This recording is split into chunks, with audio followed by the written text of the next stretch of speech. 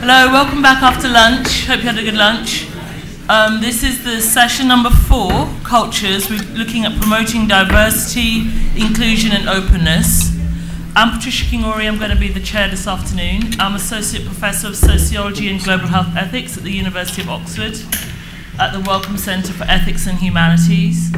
Um, I've been given a four-year Wellcome Trust uh, funded project looking at fakes, fabrications and falsehoods in global health. And part of that work is to look at concerns around fakery in knowledge production, so particularly um, predatory journals and shadow scholars. So these are the people who write essays and publications on behalf of other people. And so I've been listening with great interest um, as to all, to all the weight given on publications knowing that uh, so many of them are written by others. Um, this afternoon we've got uh, four really great uh, speakers and contributions. We've got um, Stephen Curry. Uh, he is uh, Assistant Provost for Equality, Diversity and Inclusion. Apparently he's known to many of you. Um, he's from Imperial College. Um, there's also Molly King, another sociologist. I'm very happy she's here. She's assistant professor um, at Santa Clara University. And we've got Jean-Claude Burgelman, and he's going to be uh, talking uh, later in his role as advisor to the Open Access Envoy.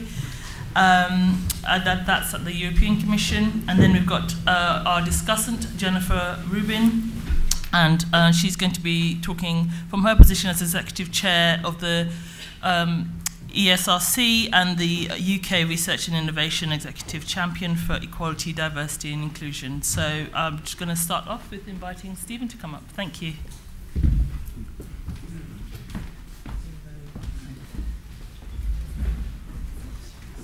We are here to talk about uh, how uh, research on research can help to inform and accelerate positive changes in research culture. So we want to talk about uh, cultures. Uh, I'm just going to introduce myself a little bit. I spent the first 30 years of my research career as a structural biologist, so I have been studying uh, protein molecules and other macromolecules, which are extraordinarily complex um, entities consisting of thousands of atoms. Uh, but in the last 10 years, I have sort of moved uh, a little bit more in my extracurricular activity into a world which is far more complex uh, and difficult, and for which there are, as we've been hearing this morning, um, not ready made um, solutions. So I want to offer a few personal, philosophical, and practical uh, reflections in this space uh, to borrow some of um, the terminology we heard this morning. I'm hopefully a, a, bit of a disruptive alien in this space. I don't consider myself a professional uh, in any uh, sense of it. To um, recall the immortal words of the teapot in Disney's Beauty and the Beast, this is a tale as old as time. And I think what we're talking about here is really about recovering and thinking about what it is that we value as a research community and as a research community that are uh, hopefully fully embedded members of society. So um, Malik, in his wonderful book on the sort of history of moral philosophy, identifies an important transition that happened I think largely in Europe during the Enlightenment, which was thinking about the, uh, the sort of scope for uh, morality and ethics um, in the world, which where there was a transition from thinking that you know the world was just uh, made in a certain way and you had to live with it and do the best that you could, to actually people starting to think that actually they could change the world. There was things that they could do. They didn't have to accept uh, the status quo. They didn't have to accept the idea, for example, that you know slavery was a thing, and uh, we've been doing it for uh, uh hundreds of years, and there was no way that we could ever possibly do without it. And so we are thinking about how it is that we can change things. Malik cites uh, the uh, neuroscientist and neuropsychiatrist Viktor Frankl, who survived the Holocaust. Don't aim at success. The more you aim at it and make it a target, the more you're going to miss it. That's a message for the metrics people in the room. For success, like happiness, cannot be pursued, it must ensue, and it only does so as the unintended side effect of one's dedication to a cause greater than oneself. And I hope that's a message that certainly resonates with me, and I hope it resonates with everybody in this room who is a human being. But if you are a vice chancellor of a university, you might say that, you know, totally get that. It's a very fine sentiment. How do I use that to run my university? Or if you're a funder, how do I do that to get the best research? And so the question we're really trying to grapple with, I think, is how do we operationalize our moral purpose? And this is, I think, the, the very creation of this institute, I think, is partly in recognition that this is a question that, certainly within the research community, has uh, risen more and more to the fore uh, in recent years. And it's one that we really do have to grapple with because we are um, missing the target uh, in terms of that um, quite a bit. And this is situated, I think, in a broader problem that I think we have seen in the West that's been discussed, I think, very acutely and astutely uh, by the philosopher Michael Sandel, uh, which is talking about the problems that, you know, here this is a talk about uh, a new politics of hope, which he gave at the RSA last um, December. Now, he's talking about the present political troubles that we have with regard to Brexit in the UK, Trumpism, uh, but also pop, the rise of populism in many other parts of the world. And there is this disconnect between what politics has promised and what people are experiencing in their lives. And part of the problem is, is that the faith in market mechanisms, which has tended to displace thinking about you know, morality and what constitutes um, a public good. You know, the tendency of governing elites to drain public discourse of substantive moral argument and treat ideologically contestable questions as if they are matters of economic efficiency. He's talking about politics in the round here, but I think uh, that sentiment applies equally to our deliberations on what research is for and what the purpose of it is.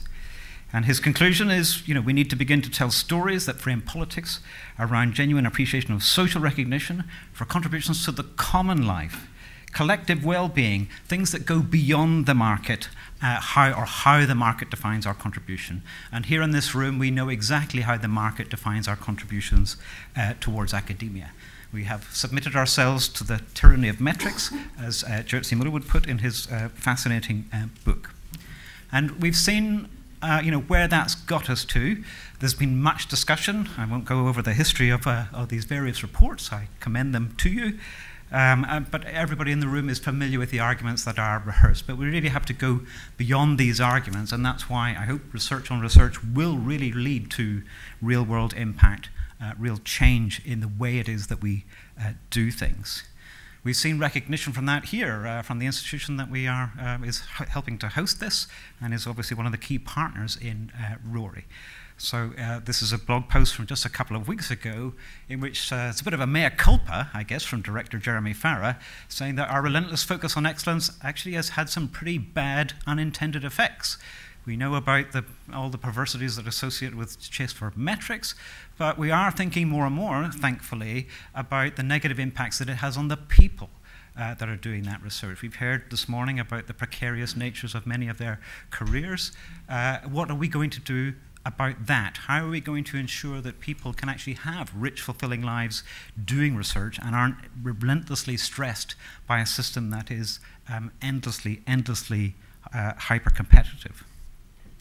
So I was talking about this um, at Trinity College Dublin uh, a couple of weeks ago that we were invited to um, a sort of one-day symposium on open scholarship. Uh, and there, um, you know, the, the, the message I gave in my talk, which ran massively over time, not a good indicator for today, uh, was that you know everything is connected. You know, they're talking about research impact, they're talking about evaluation, open scholarship, uh, DORA, which I'm uh, uh, chair of, talking about the role of funding agencies, and then the impact on research culture. And all of these strands are really interconnected. And that's why my talk's overrun, is because this stuff is really so complicated. And I haven't figured it out yet, and I, I don't think any of us actually really have. But I do have a hypothesis to start with, uh, and which is uh, increasingly, I think, and I think I'm picking up on a strand of research that actually others um, have developed here. Openness really is the key to reform in research evaluation. We've seen that in the thinking that underpins Plan S, for example, and also, I think, increasingly to bringing equality, diversity, and inclusion um, to the core of our thinking and everything that we do um, as an academy that is situated in the real world, and hopefully looking outward to that real world and inviting uh, people into it. So I think there's a powerful argument we can make, and clearly there is a rising tide of um, um, um, positive orientation towards openness. It started with open access, um, and now we're seeing many offshoots of that the rise of preprints in the life sciences, uh, encouragement for open peer review, the idea that open access gives worldwide scrutiny and helps us deal to some extent with the problems of reliability that we heard about this morning, or the, the automatic assumption that if you're sharing your papers, then yes, of course, you've got to share your data as well, even though clearly there are big technical challenges to do with that. And then the idea that actually openness leads to better impact um, on the real world. And ultimately, that is what many um, people are looking to achieve. But it's not just about putting your papers and putting your data on some web server somewhere and then saying to the world, here you go, knock yourselves out. Uh, I am broadcasting to you the fruits of my genius and my labors. Uh, you do with it what you will. And I think the, the, um, the insight, which actually I'm stealing from James Burke, uh, which nobody had heard of James Burke in Trinity College Dublin. I um, was disappointed to learn. But the, th the main thing, it seems to me, he wrote back in 1985, is to remember that technology manufactures not gadgets, but social change. And I think that's what we're beginning to see with the rise of open access and the orientation towards open science. It's changing our relationship not just with our own papers, but with the society at large and forcing us to rethink what it is we uh, mean truly by openness you know, and asking questions such as, you know, how should the academy think about uh, democratic accountability, freedom and responsibility? And we heard that issue touched on this morning by the uh, uh, Indian uh, science advisor. And then also, you know, how open really is the academy for public inquiry? Because really, openness isn't about broadcasting; it's about encouraging and facilitating and welcoming um, a two-way conversation with all the stakeholders, all the constituents, all the people who stand to benefit um, from what it is that we do. And uh, there's more um, even uh, beyond that in thinking about, you know, if we're opening the doors of the academy and thinking about talking to other people, then we also then have to think about um, other issues of equality and inclusion. Who is it we let into the academy? And there's a fascinating project which is led by Cameron Neylon. Hi, Cameron, he's in the room somewhere. Uh, at Curtin University in Western Australia, which is uh, rethinking sort of universities as open knowledge um, institutions. And um, the whole discourse around openness, open access, and open scholarship has, you know, in the short term, raised questions about uh, socioeconomic equity. If we're fixated on article processing charges, then that's just reinforcing economic inequities that already exist between the North and the South, and we're hopefully uh, striving towards a system that is going to um, dismantle those inequities and not reinforce them. Um, we have to think about who gets into the academy, uh, and th that raises issues of equality, diversity, and inclusion, uh, and realizing and thinking how it is that you know that inclusion is actually going to enrich and change um, the research questions that we ask, which are currently, of course, largely framed by people who look like and sound like me.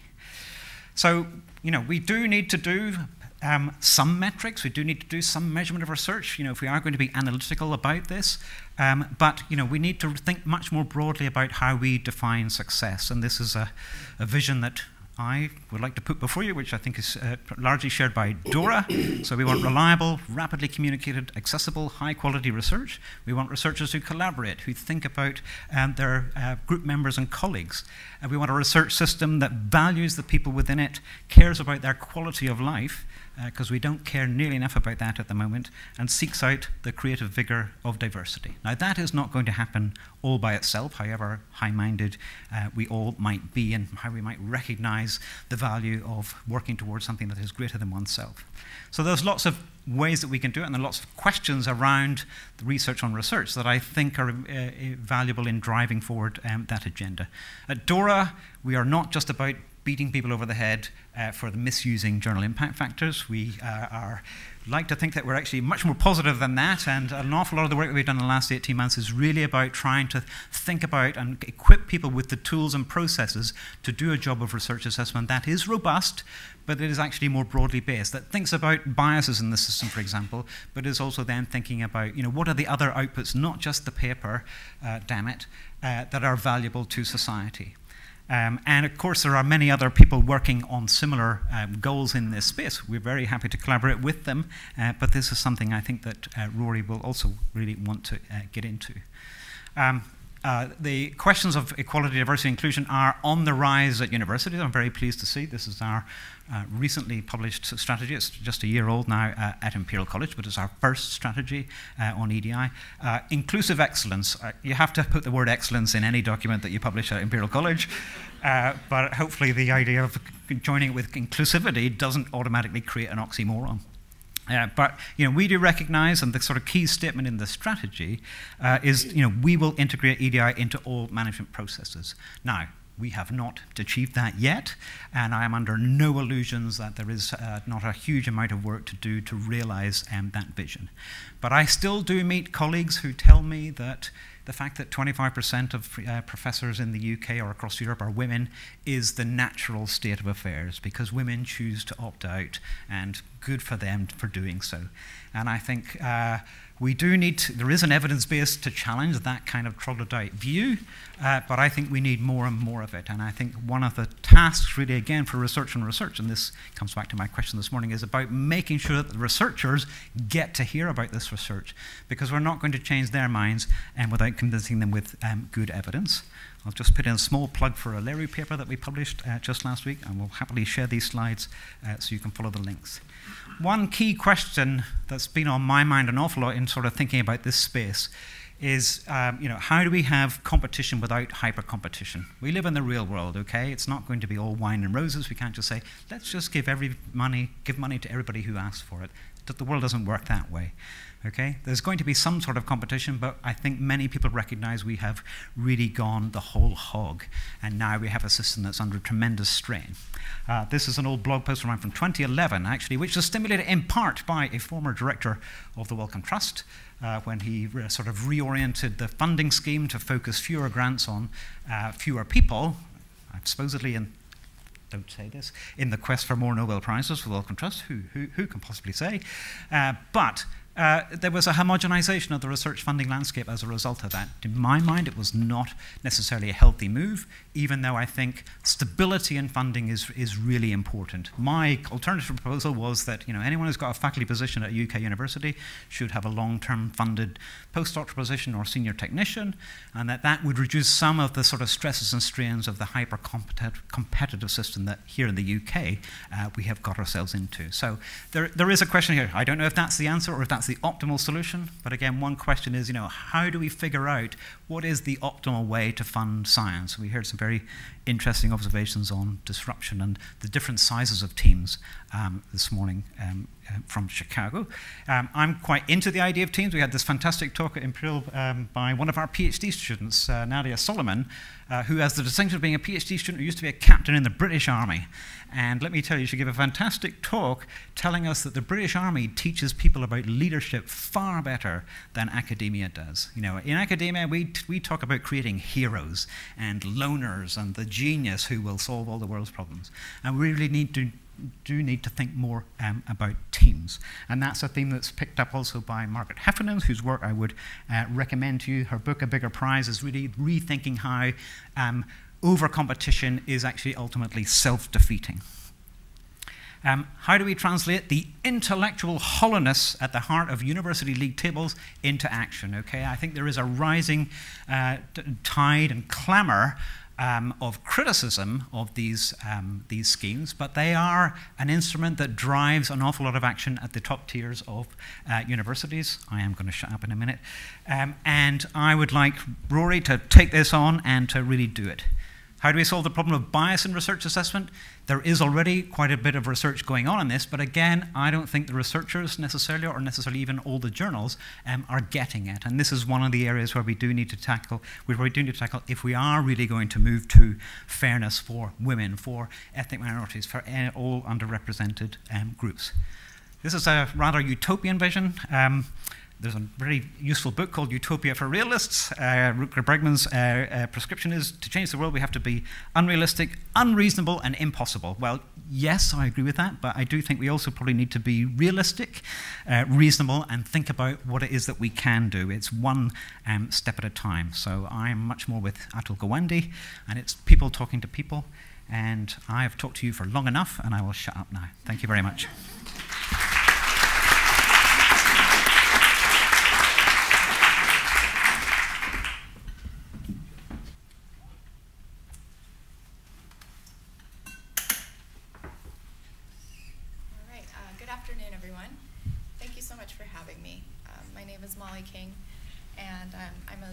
Professor assistant professor at Santa Clara University, which is in California. Today I'll be presenting some of my co-authored work where I examine gender differences in self-citation patterns and in authorship order patterns. Uh, we also, so in doing this, we examine patterns in scholarly credit for the creation of new knowledge. Uh, so before I get started, I want to acknowledge my co-authors on this work and my funding sources as well as our data. So my co-authors for this are Carl Bergstrom, Shelley Correll, Jennifer Jacquet, and Jevin West. And Carl Bergstrom and I both received funding from the National Science Foundation, and we thank the JSTOR Scholarly Database for our data. So why I care about academic publishing? Um, we look at this for three reasons. Uh, first, it's the primary product of sort of the gendered production of knowledge, uh, which is how we think about it as a sociologist. And given the importance of metrics in, in the scholarly influence in academic hiring, promotion, and salaries, uh, gender differences in citation patterns shed light on persisting gender inequalities in this realm. And then as a social scientist, it serves as a useful model for gender inequality in evaluation and promotion and workplace advancement. Uh, so that helps me advance the theory in my field. Uh, why study self-citation? So we know that papers written by women authors receive fewer citations, and this is a puzzle that I want to know why. Fewer citations to female authored papers could be due in part to gender differences in self-citation uh, because self-citation actually influences later citations from other authors as well. Uh, so this has a sort of additional effect later on. Uh, so the data we use for this project come from JSTOR, which is a large repository of scholarly publications, uh, mostly in the humanities and social sciences, but uh, across all academic fields. So it has over 8 million documents, but what we look at specifically are a large component of articles that are connected to each other through citations. And this includes 1.7 million of these documents. And this visualization that you can see here uh, is from eigenfactor.org, which is the brainchild of my collaborators, Jevin West and Carl Bergstrom. And you can play with a number of these visualizations yourself on their website. So our unit of analysis is this concept of an authorship. And an authorship is a person and a paper on which that person is an author. Uh, so if I've written more than one paper that's in the JSTOR database, I have more than one authorship in that data set. So, uh, so what that means, we take a look first at author order on papers. And this set of graphs shows how gender relates to authorship order within JSTOR. The vertical axis shows the percentage of women present in each authorship position on the horizontal axis. The top panel shows about 900 million authorships prior to 1990, and the bottom panel here shows 1.1 million authorships from 1990 to 2011. In these decades, women are no longer severely underrepresented as first author, as you can see um, but they are increasingly underrepresented as last author. Uh, what you don't see here is that they're also underrepresented as sole author if a paper has no, no co-authors. So the solid line indicates the overall frequency of women in the JSTOR network. Uh, so this is where we would expect to see the points representing the actual percentage of women if there were gender parity in the data set. Uh, so we also analyzed author order broken down by individual fields, if you're interested. Uh, so for example, you might go on and see the author order data by in mathematics, where, uh, where it's alphabetical, for instance, and you would see that there actually, these patterns don't persist in mathematics. Um, uh, and I'm happy to discuss that more in Q&A if anyone's interested. So our second paper looks at gender differences in author-to-author self-citations. And our data are best illustrated with an example. So suppose that a trio of authors, uh, such as Pooja, Colin, and John, co-author with another, um, or they co-author with each other, and they cite another paper in their paper. And only one of these authors overlaps, Colin Jones. We now have nine author-to-author -author pairs, only one of which is a self-citation, Colin Jones to Colin Jones and thus Jones has a 33% self-citation rate in this example. So within all of the references and papers in the JSTOR corpus, three quarters of a million were self citations. Uh, among all 8.2 million references, 9.4%, or about 1 in 10, are actually self citations. So, this is a significant problem or a significant question to study. Uh, so this is important because we find that the average man self-cites 56% more often than does the average woman. There is a 6.7 percentage point gap in the proportion of authorships that are women and the proportion of self-citations that are women. So again, if there were gender parity, we would expect the bars on the authorships and the bar on the self-citations to look identical. Men's rate of self-citation has been higher than women's since the 1960s. And before that, it was hard to tell because we just didn't have the su uh, sufficient number of data points in order to be able to distinguish.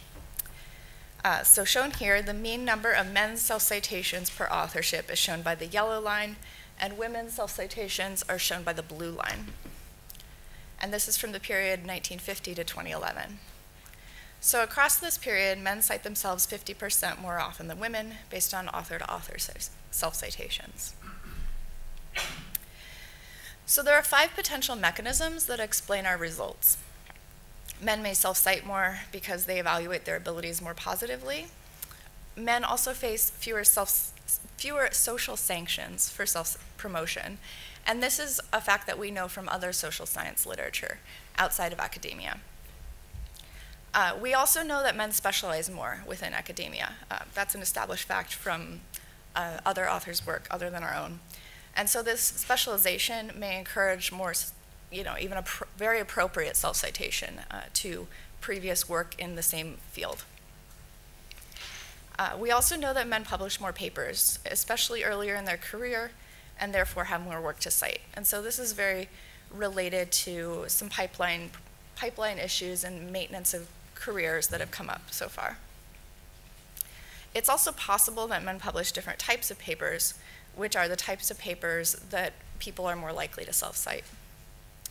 So although our JSTOR data had the advantage of being very large, uh, one trade-off is that we couldn't disambiguate authors.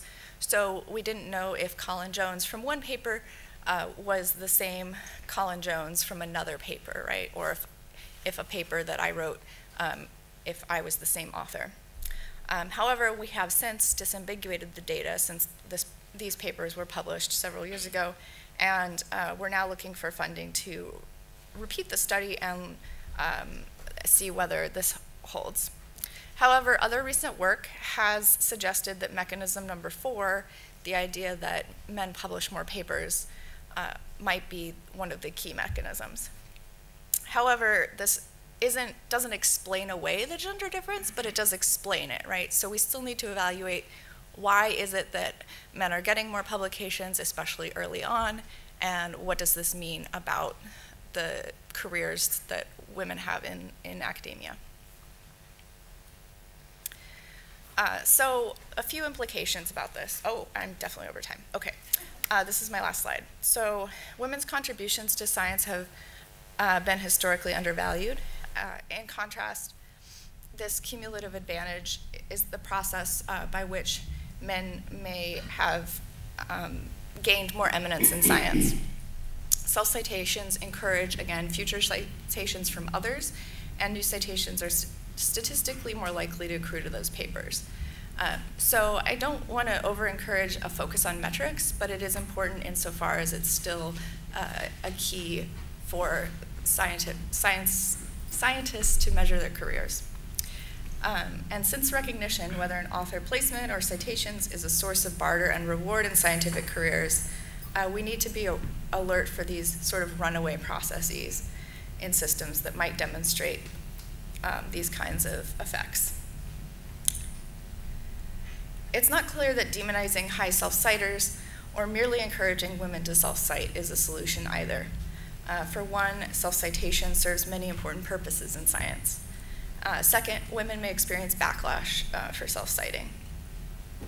Uh, but how do we adopt a field-normed, gender-sensitive, but not stereotyping view of self-promotion and advocacy that allows academics to claim ownership over their own intellectual work. Um, that's one challenge I leave for RoRI.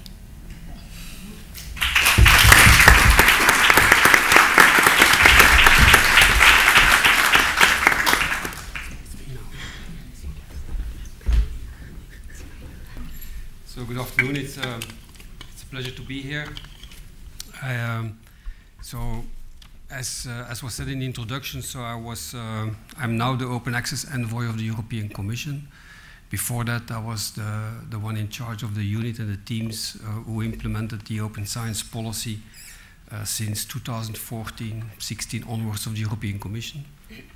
Before that, I was a actually a full-time researcher in, in telecommunications policy. So um, I made that shift to policy 10 years ago for, for a reason I still don't understand, but still, that's where we are. And I also don't understand why I accepted this open access envoy thing, because that's not, that's basically plan S, but that's another discussion. Anyway, when, when James, uh, I can do that over coffee if you want. When James asked me, uh, John Wilsdon, so James, Mr. RoRI, when, when he asked me to, uh, to come and talk about how did uh, research on research uh, and, and so on uh, inspire the policy shift that the Commission has made and which it, I think it is fair to say is a relatively successful one, not because of me, but because of we were able to do it together uh, with, with the member states. Uh, we are seen as leading the open science policy, the Europeans, I mean. We are there with open access, open data, the science cloud, and so on. So when he asked me to, uh, to come and explain about how did uh, research on, on research uh, and uh, inspire you in doing so, and, and, and how did it work, I, I, of course, I, I, I, had to accept because the month before he wrote a nice article about us in Nature uh, on, on European policy. And by the way, this also shows you how these things work, but that's a, a different thing to, to, put in your models.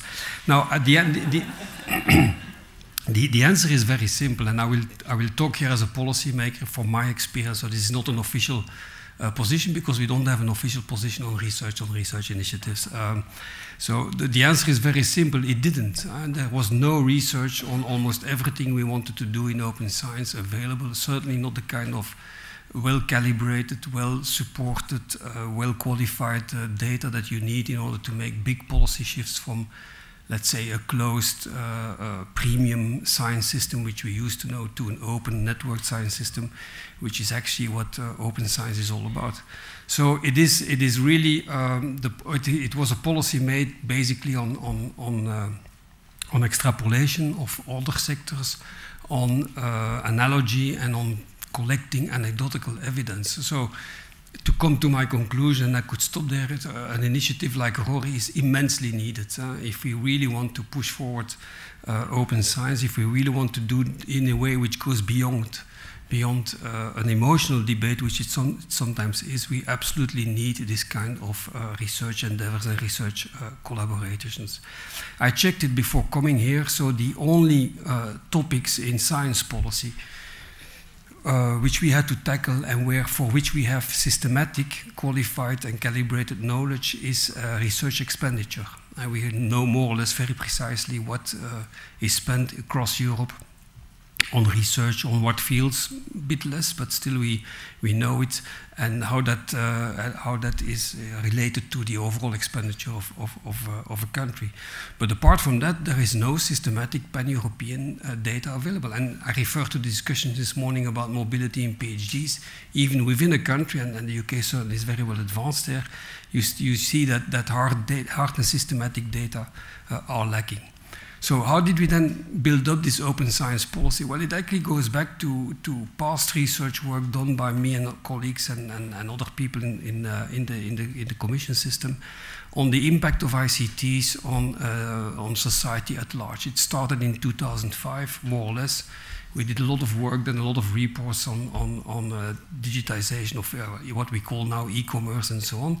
And we, we learned there that, that a combination of digital technical disruption and global geopolitically and geoeconomical globalization is the perfect, so to speak, uh, ingredients for a disruption.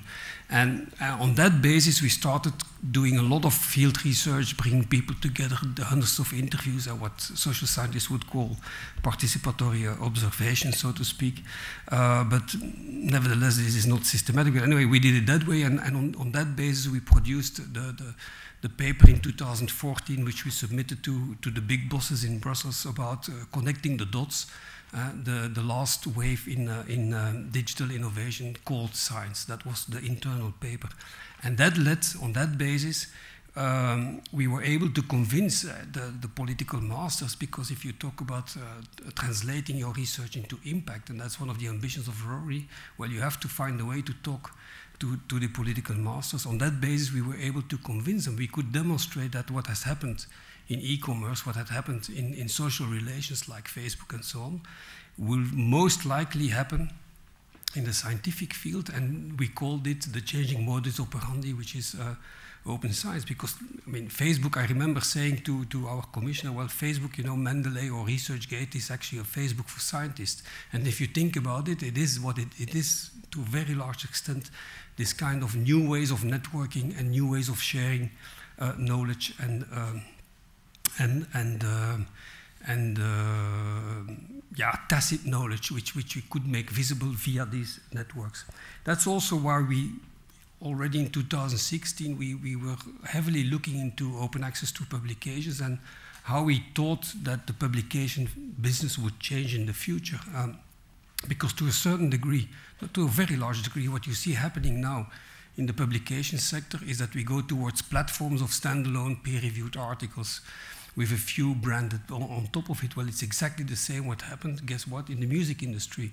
And when you don't see the disruption, like the big uh, record companies of the past, well, you, you simply uh, miss the boat and you go bust, and what, what survived is iTunes. So you can, on base of that analogy, we, we, we, we try to make our case for a much more open policy into um, a, a, much more bigger push towards open science policy because and that is important in, in the whole debate, not because we like open per se, because it is nicely connotated, but because we saw it as a threat to uh, the competitiveness and the global position of the European scientific industry, but also the scientific ecosystem, publishers, funders, and so on.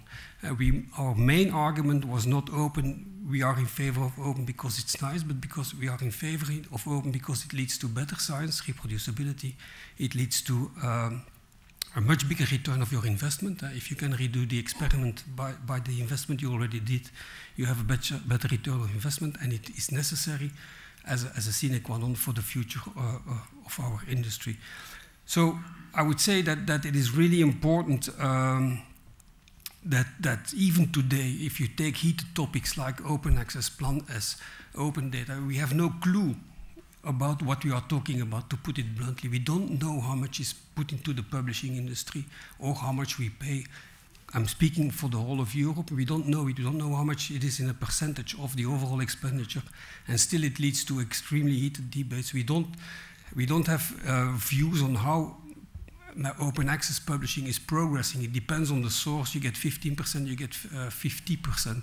So there is an, an urgent need in, into all this. There is an urgent need to understand how the rewards, and we all know that the journal impact factor creates perverse effects, but they are not quantified. There are anecdotes, there are fantastic emotional papers, but there is no quantification on it. So we urgently need uh, more time to speak. uh, and you told me you would be very rude, but uh, okay. So we, we urgently need, as a policymaker, I would say that kind of data because otherwise it is simply uh, impossible to convince uh, the, the, the, people who can decide to to make uh, to make the, the changes. Now, given given the red light.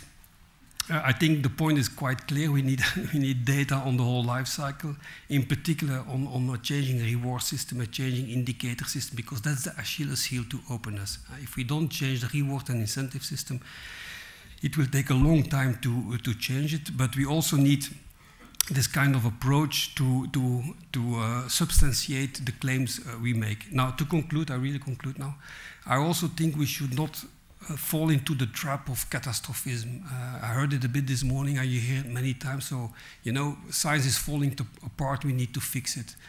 I, I, when you know when I look around me, when you see the new cancer therapies developed on a weekly basis, when I see that planes stay in the air for God knows how many times, when I see quantum computing, which by the way will Morse, make Moore's law possible, science is doing fantastic job. The point, uh, the way we sell it is, it's not about fixing a broken system; it's about fixing the lack, the, the, the, the opportunities which we miss.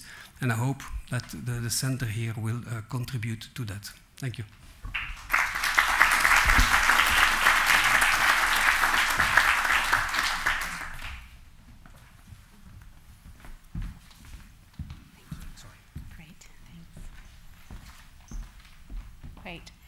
Hello, everyone. I'm Jennifer Rubin. I'm the Executive Chair for the Economic and Social Research Council, and I'm the Executive Chair lead uh, not only for, um, for equality, diversity, and inclusion, but now we've uh, brought that together with research culture as a whole. So this is absolutely a, a, a fabulous moment for me um, with the launch of RoRI, and I'm, I'm, very delighted to be here and to hear those um, brilliant uh, talks and provocations. So thank you very much for those. Um, I'm glad that the bar for timeliness has been set low so far in this session, but I would, I would do my best and try not to, try not to overrun.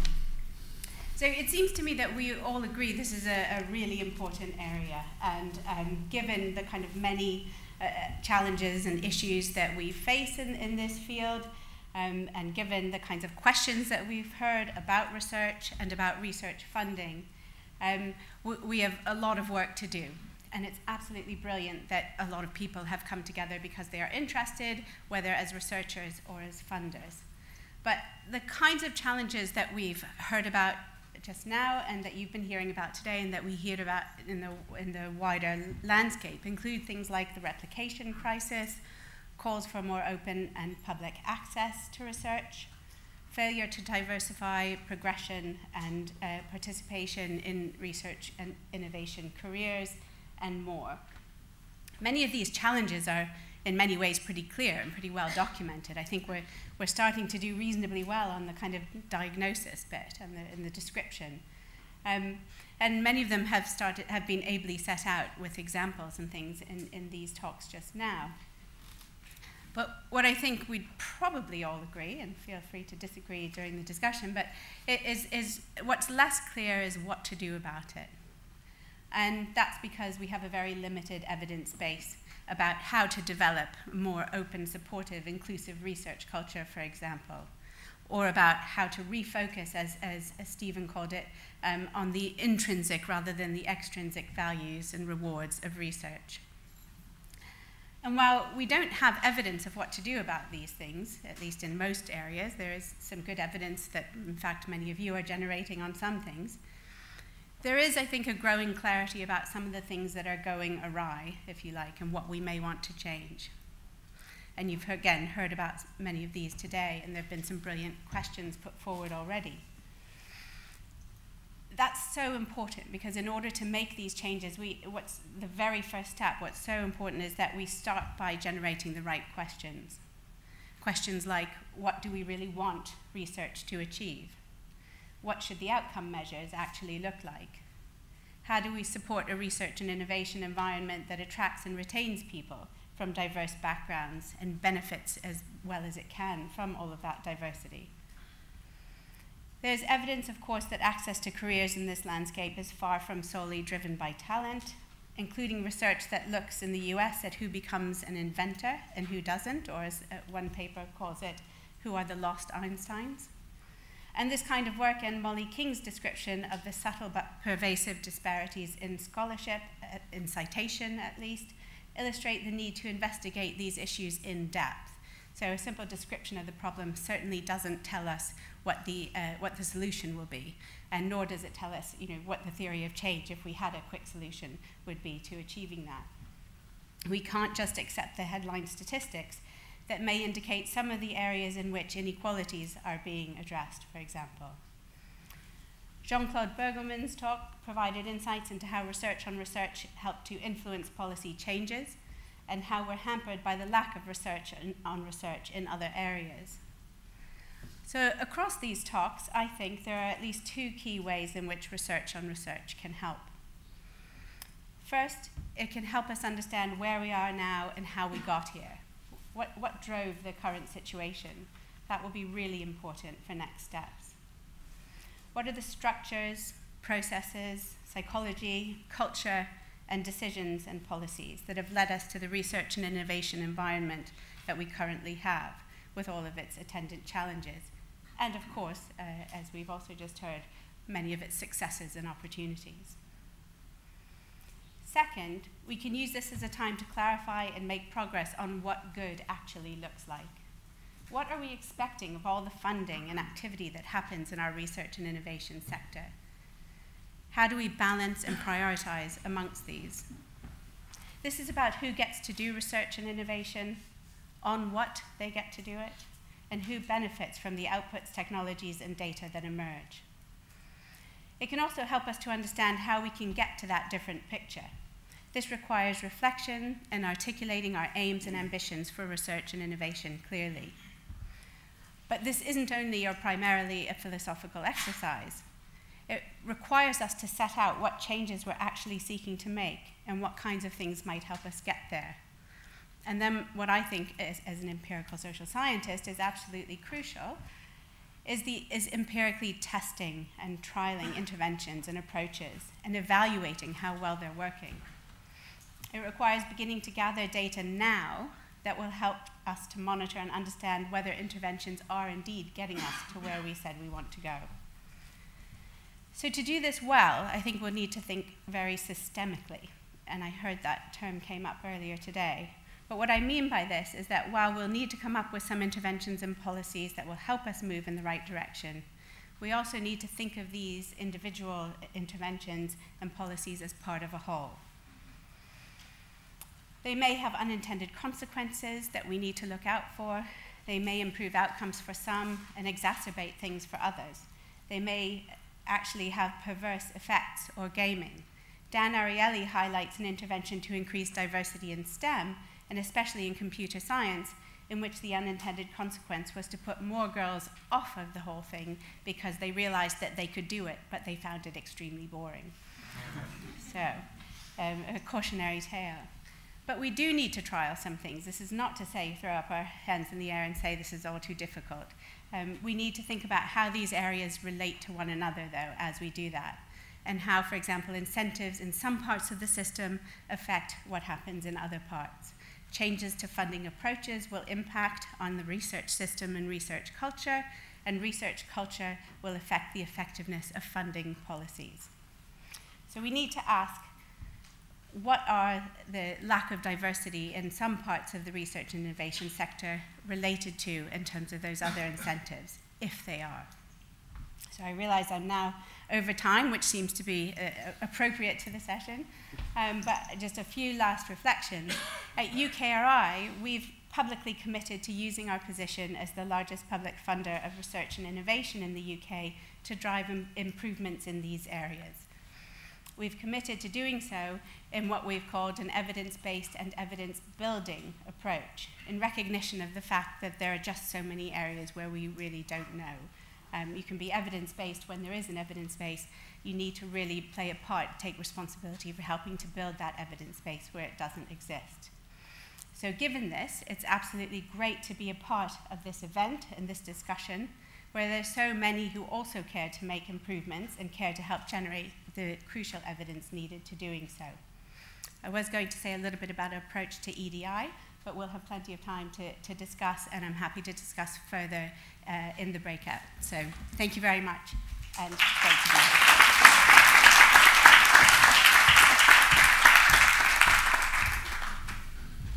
So now it's time for questions from the floor. It's the same as before, so um, there's a roving mic, and you can also come up at the front and state your name and your institution um, for your questions. Thank you.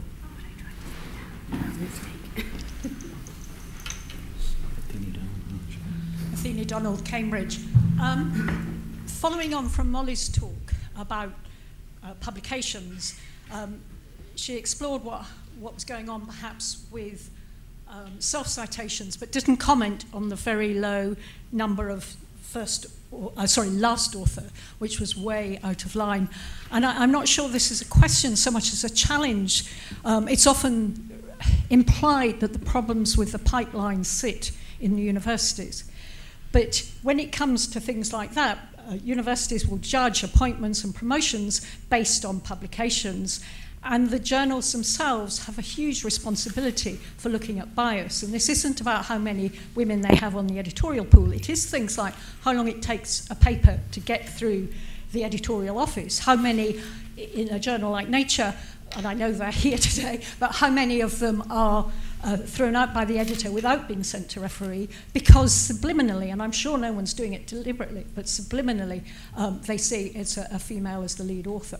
And I think we're not going to sort out the research culture in our universities if we don't really have the journals taking responsibility and facing up to it. The only data I've seen is in economics, where the, the studies showed that the bar was higher um, in some complicated way of measuring it um, so, as I say, it's more a comment for the community, but I do think the kind of evidence that Molly is producing is absolutely vital to make people work out where things are going wrong.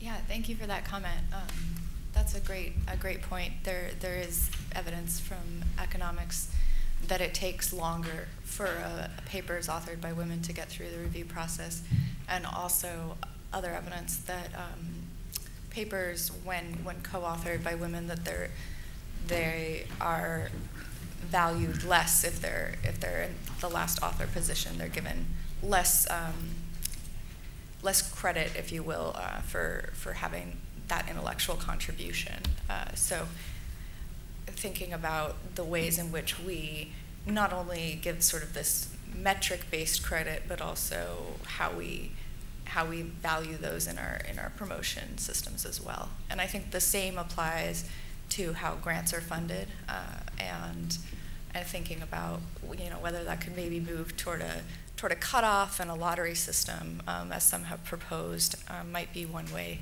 one way around that.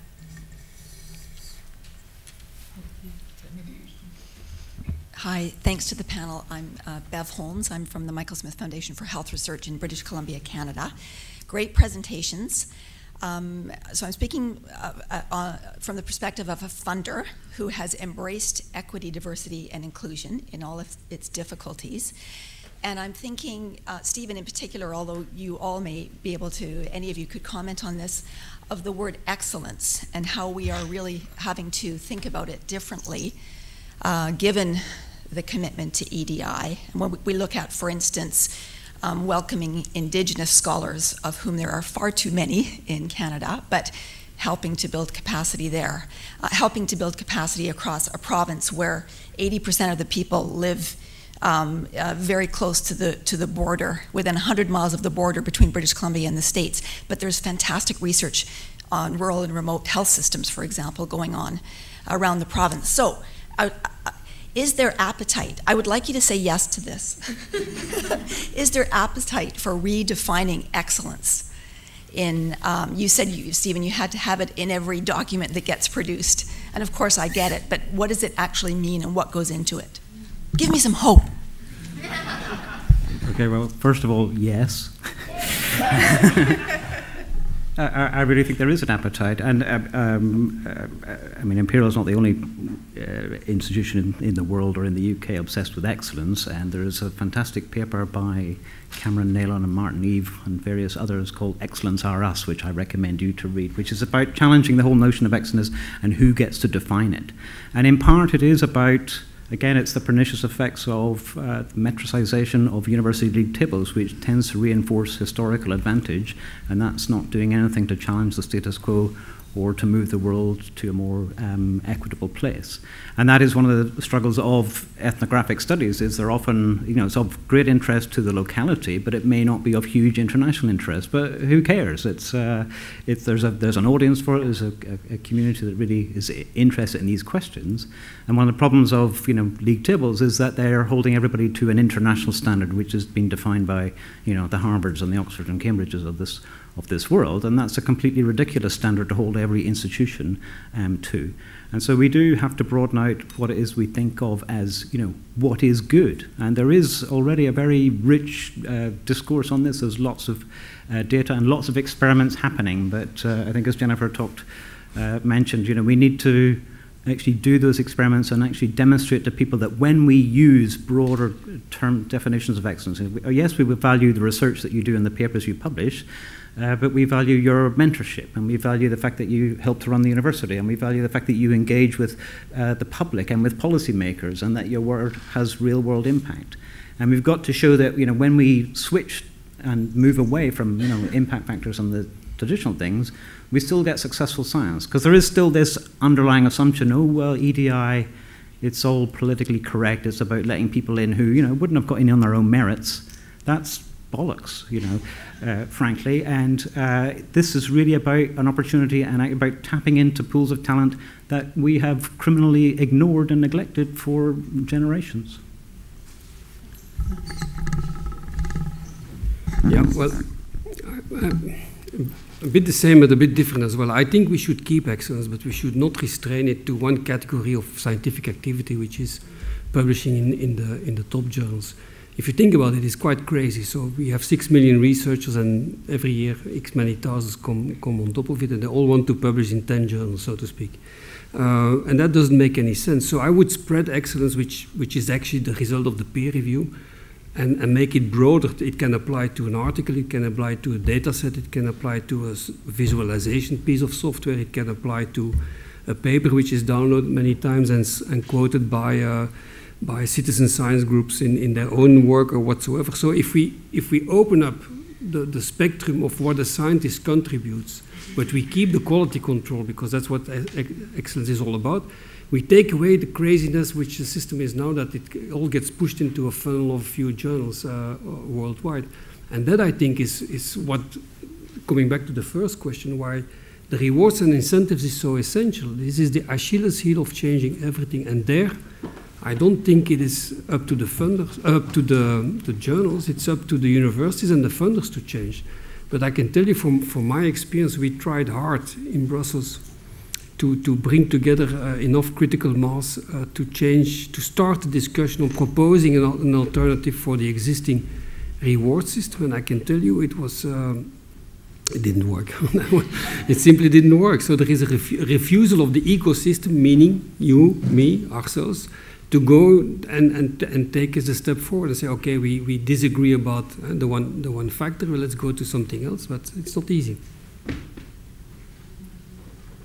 Yeah, um, I think that when we think about excellence, we think about meritocracy, and uh, historically, meritocracy has really been a label that we use to justify existing inequalities. Uh, and so, uh, a good example of this is uh, Ivy League colleges um, their, their admission standards have shifted over time, and, and early in the history, they were really used to justify the exclusion of, of certain groups, and, and now they arguably justify the exclusion of certain other groups. Um, as, a, as a graduate of one of the Ivy Plus. Um, and so now, uh, now I think we need to think about what does, who gets to decide the, the maintenance of status groups, and um, as, as was spoken about earlier, uh, how do we leave room for the, the eccentrics? Um, so, I don't know, think about who's getting to decide, I would say, more than anything. Just, um, I, I mean, really great question and really important issue for all of us, I think, here. Um, uh, to me, it's almost easier to come at it by, by starting from the question of, uh, that I asked uh, in, in, my comments, what are we trying to achieve with all this? And if we assess uh, the outcomes of, of the research that gets funded by what we've told people are the outcomes we're seeking to achieve, and those include inclusion, those include uh, regional diversity, those include uh, addressing problems that are of national or local interest rather than only international. If, if, those are all included in the outcome measures, if you like, then, then what looks great is going to is going to look different than if we have different outcome metrics. So I think it's really important to think about in those lines. What I wouldn't want to, to let go of, though, is the notion of rigor. Because no matter what we're trying to achieve, if, if research isn't rigorous and well founded, it's not going to be helpful to any of the communities or the practitioners of the research that we're trying to make sure that we open up to. So. Yes, uh, Thomas Franssen from Leiden University. Um, I had one small sort of comment on the research quality excellence issue. Um, that looking at impact factors related to retractions, I don't think we should think about excellence related to research quality at all. So research quality is a separate thing that your research needs to be rigorous or, or original or well, there are all kinds of values that we can at attach to, to research quality. I would say that we, we should keep excellence away from the whole concept of quality because the idea that you can only have research or that you can have either excellence or societal relevance or diversity or all those things is very strange. I would say that research quality comes in many different forms of good. Um, so I was wondering, maybe also to the ESRC, um, whether it would, was, would you would be open to making even more explicit your own normativities in what you would want and what that would mean for how you consider good. That would be a question. Okay. Sure. I guess that one's for me. Um, thank you. Uh, so I have to say the starting point for me for being here today was to discuss all, of the other people's contributions and not to make a statement of policy for ESRC. So I'm not going to make policy on the hoof, but I will absolutely say that uh, we're, we're up for and are already engaging in some very serious reflections about how we assess research, about how you know the, about how peer review can operate in order to widen the, the kinds of research that, that come through. And so, uh, you know, I think, I think this is the point of being here today is to raise some of these questions. And I think it's an excellent question. And it's exactly the kind of thing, not just in the ESRC, but I think across the piece, as UKRI venturing into this space, wanting to make sure that we do have a more open and diverse in all those, the meanings of this, um, research establishment, research landscape, research and innovation landscape, uh, that, that those are the kinds of things we'll be thinking through. So thank you. Any other questions? Not even a small one? okay, well, just please join me in thanking the speakers and participants of this session.